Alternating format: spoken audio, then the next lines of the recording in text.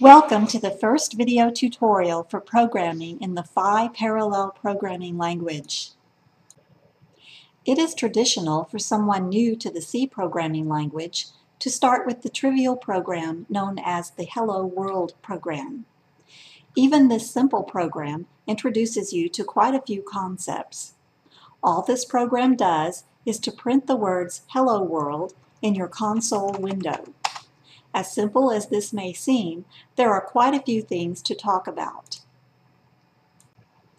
In the window on the left, I have the program in C open with my trusty Open Watcom text editor. On the right, I have the equivalent program written in Phi open with my PhiEdit text editor.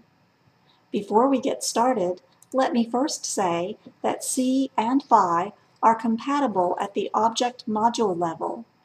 You can compile source modules written separately in C and Phi, and then link them together and run them as one program. In contrast, C and C++ are not compatible at the object module level, but C is upward compatible with C++ at the source code level. You must recompile C source code in order to get it to link with C++ modules. Back to our example. First, notice that the text in the C version of the program is shown in black and blue. This is not because the file actually contains black and blue characters. The ASCII text in the C source file actually contains no visual properties such as color, style, or size. It is the editor that understands programs written in C, and it makes text look different depending on what it means in C.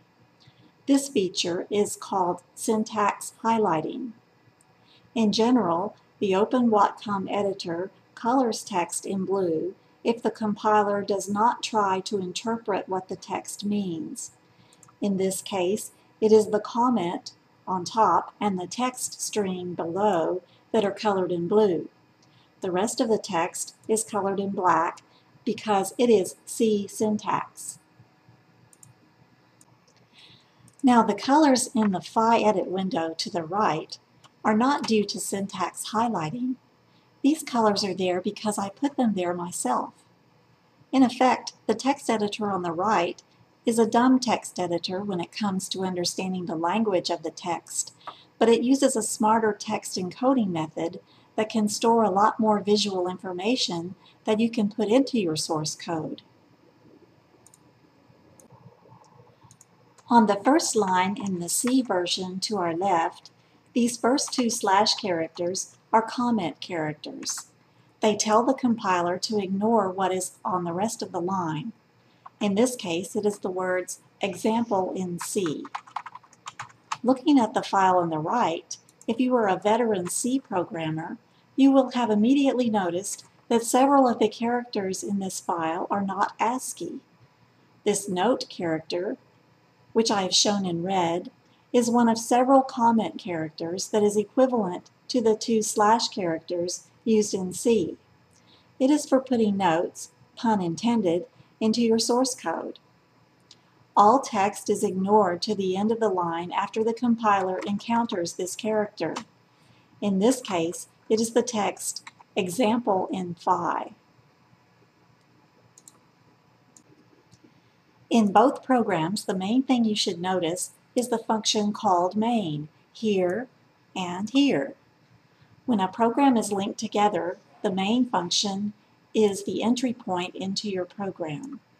This means that it is where your program starts to execute. The parentheses to the right of the word main tells the compiler that this is a function definition. What lies between these parentheses are the parameters that are passed to the function. In this case, there are no parameters, as indicated in the C program with the keyword void, nor in the Phi program as indicated by the absence of any parameters. What immediately precedes a function name declares the type of the value that is returned to its caller. but we see nothing preceding the main function to declare a return type in our C program. This does not mean that the function doesn't return anything. In C, if there is no return type specified for a function, a return value of type int is assumed. If I type it in explicitly, it will not change the meaning of the program and will make its meaning more clear to anyone reading my source code. In C, the keyword int is a signed integer that has a bit width that is native to the computer that the program will run on. So on a computer running MS-DOS, it is 16 bits wide. In a native Windows NT program running on a Pentium, it is 32 bits wide. And on a Windows 7 program running in 64-bit mode, it is 64 bits wide. Looking at the Phi version of the Hello World program, we see that main returns a value of type SW, which stands for signed word. I have a suggestion for you.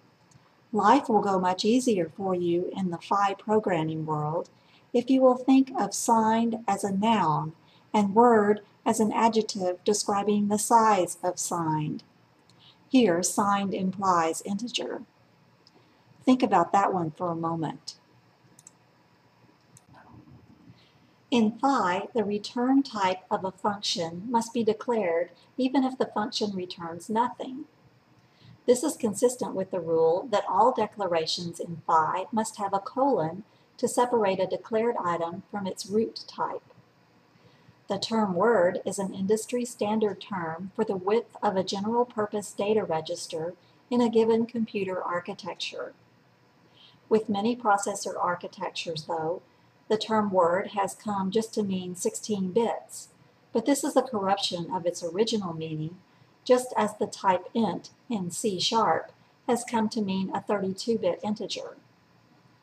Even though the original x86 word size was 16 bits wide, the term word became ingrained, and it still means 16 bits to many people in the AMD 64 architecture even though when using the generic term, the AMD 64 architecture's word size is actually 64 bits wide when running in 64-bit mode. Moving on in the C program, these curly braces below the main function on the left enclose all of the program statements that are nested within function main.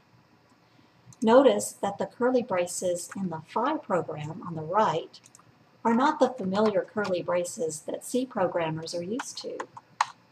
These two-pointed curly braces, or program braces, in your Phi programs will remind you that you are programming with a parallel programming language. These two points, here and here, should make you think plural, as in twin engines, because you are going to have more power in your programs. Now for the function printf. This function is part of the standard C library. The linker will include this in your executable before you run it. Here is where it can get a little confusing. The message hello world is an argument to function printf and is enclosed within double quotes. In C, the value as you see it here is either an array of text characters or a string, depending on how it is used.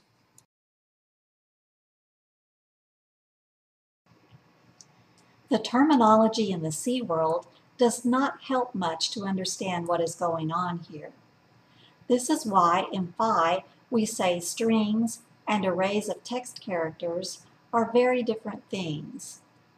These two programs accomplish pretty much the same thing, but what is actually happening in the C example will be more easily understood if we now talk about the Phi example.